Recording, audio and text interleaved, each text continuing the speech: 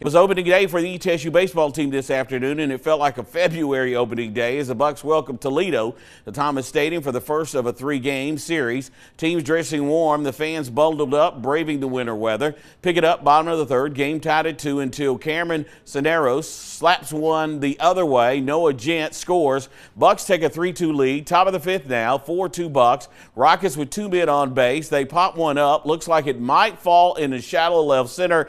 Ashton King comes sliding in to make the spectacular catch. Bucks get out of the inning without giving up a run. Bottom of the fifth, the Bucks bats came alive. Nick Iantone sends one to the gap in left center, just under the glove of the diving outfielder. Luke Lowry hustling around from first. It's 5-2 ETSU. Moments later, Ryan Enos keeps it keeps it fair down the third base line. Another run scores. The Bucks would go on to blast Toledo in the opener by the final of 15 to 2.